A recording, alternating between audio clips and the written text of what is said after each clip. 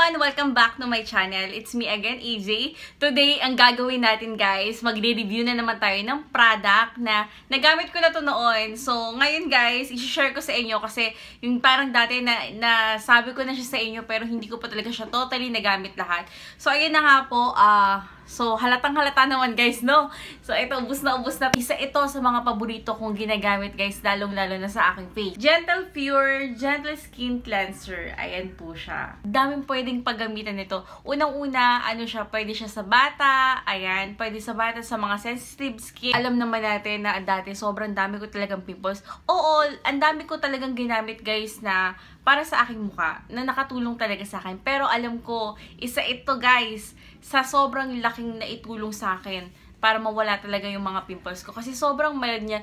Ako dati, hindi ako naniniwala, guys, sa mga mild. Sabi ko, baka hindi naman kaya yan tanggalin yung mga dirt sa mukha ko. Kasi nga, mild lang siya. Pag lumalabas tayo, ang daming, lalo na ako, ano kasi ako, oily kasi ako, guys. Eh. So, parang hindi ako naniniwala sa mga mild soap. Pero nung natry ko na to, guys, ay iba, iba siya. Grabe, ang ganda niya kasi hindi lang siya pwede mong gamitin pang hilamos. Ang dami kong napagagamitan nito. Effective din to guys sa pambura ng makeup, tapos, halimbawa, ano ka lang, uh, nasa bahay ka lang, or after mo maligo, or sa morning, yung mga routine-routine mo, pwede mo siyang gamitin directly sa yung mukha na hindi mo na kailangan banlawan. Ano ba yung kiniklaim ni Gentle Skin Cleanser? Sabi dito, Gentle Skin Cleanser. This gentle soap pre-cleanser was originally formulated for everyday cleansing, especially for sensitive skin. Soothing, non-irritating, ideal for face and body, helps skin retain needed moisture, rinses easily, and leaves skin feeling soft and smooth. Totoo to guys. So, after ko talaga maghilamos, makinis, malambot yung mukha mo, maganda, maganda siya sa mukha. Pwede mo siya gamitin ng, ano guys, hindi mo na kailangan banlawan. Natamad ka maghilamos or nasa labas ka, meron ka lang yan, maglagay ka lang sa maliit na lalagyanan. Tapos, pwede mo na siyang gamitin na kahit na hindi mo na kailangan ng soap. Kasi, ito guys, hindi naman siya mabula. Ang ganda niya panlinis guys, as in. Nakakalinis talaga to. So, ang gagawin mo lang dyan, hayaan mo munang uh, pumasok siya sa mukha mo. Tapos, yung mga natitirang ano, wipe mo lang. Ayan, tanggalin mo lang siya. Ganyan. Ganyan yung paggamit niya, guys. Lagi-iwan talaga siya ng lambot sa mukha. Talagang, ang ganda-ganda nito. Talagang nakakaano siya. Lalo na lalo na sa mga baby nyo, guys. Pwede mo naman to gamitin. Halimbawa, ayaw mo nang parang madulas-gulas yung mukha mo. Lalong lalo na kapag oily ka. So, ayaw mo yung pakin parang medyo malakit-lakit. So, pwede mo naman siyang gawin. Banlawan mo siya, guys. Walang ako ng tissue. So, tatanggalin lang natin yung naiwan. Ayan.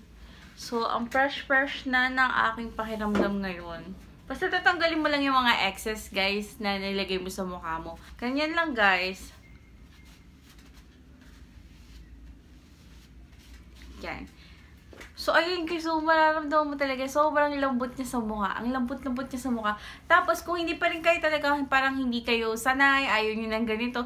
So, pwede mo naman guys, gumamit ka ng toner. Ayan, mag-toner ka after mo magliganon.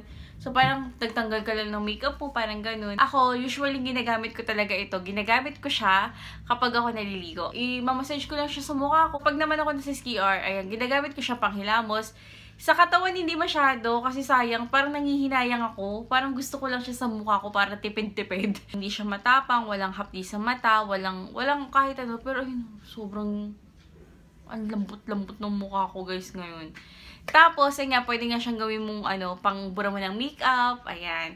Tapos, ang isa pa doon, pwede mo rin siyang gawing feminine wash. Natry ko din kasi siya guys, gawing feminine wash and effective din talaga siya. Sobrang useful para sa akin. Ang dami-dami niya mapagagamitan sa akin. Itong lotion naman guys, ito parang sobrang lakas lang nito mga baby hindi, kung naghahanap ka ng puputi ka guys, hindi ka puputi dito ha. Ayan, yung kagandahan sa mga product na to para sa baby, yung ayan, fragrance free siya. So, si Gentle Skin Cleanser guys, for all skin type. So, pwede siya kahit mga sensitive skin ka yan. Especially nga, ginawa talaga to para sa sensitive skin. So, kung ikaw naman ay dry, o kaya oily skin ka, so pwede pwede to sa'yo. Ayan. Tapos, mild, non-irritating formula, softened as it cleanses, ayan, and fragrance free. Ay, meron siyang laman na 473 ml. So, sobrang laki na to, guys. Ayun, ito talaga walang-wala na to laman. Sobrang may recommend ko to, guys. Lalo-lalo sa mga sensitive skin. And kung naghahanap kayo ng alternative na mas mura para sa Cetaphil, girl, eto na.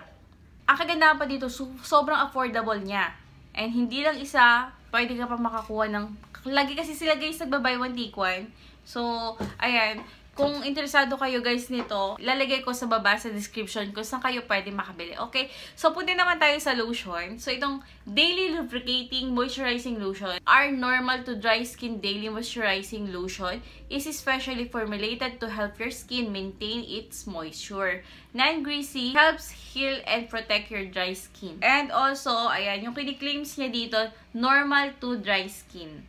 Fragrance free moisturize skin, vitamin E increase, non-greasy. Lang pag masyado nang mahapdi sa mukha, ah, sabi ko, teka lang, masyado nang mahapdi yung mga ginagamit ko. So, eto na. Eto na yung ginagamit ko. Na lang to, minsan, naka-buy one, take one pa. Parang lagi sila nagba-buy one, take one. Mm -mm.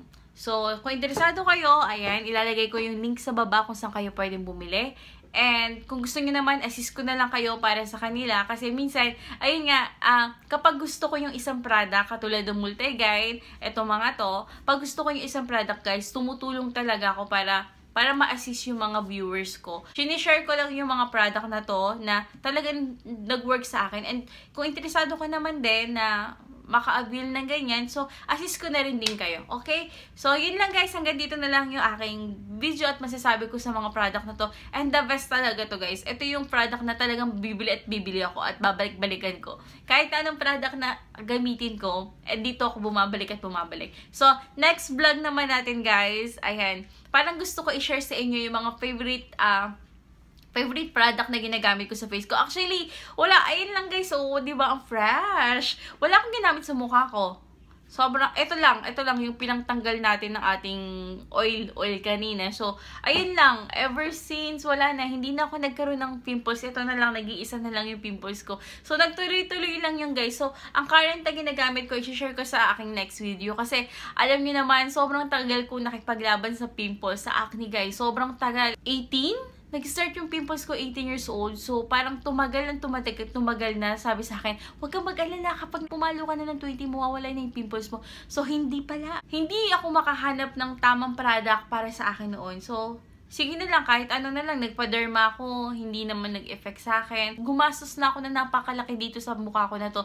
Pero finally guys, nahanap ko na rin yung mga right na product para sa akin. Kaya kung kayo guys ay nagkakaroon ng pimples ngayon, guys, pinagdaanan ko din yan. Hindi ko sinasabi na sobrang kinis na mukha ko na, sobrang kinis na mukha ko ngayon. Pero sobrang laki na ng improvement na nangyari sa mukha ko, guys. Kung nakikita nyo itong baku-baku na yan, yan yung bakas ng mga pinagdaanan ng mukha ko. And nakakatuwa kasi ngayon talaga, ayan, okay na siya. Happy na ako sa mukha ko na to kasi alam niyo naman yung insecurities ko talaga yung aking aking mukha, yung pimples. At sana may na-share naman ako sa inyo kahit papano. And huwag kang mag-alala kung may pimples ka ngayon. Mawawala din yan basta mahanap mo lang yung tamang produkto para sa'yo. So, basta try ka lang ng try. And drink a lot of water. Maraming maraming salamat. Bye!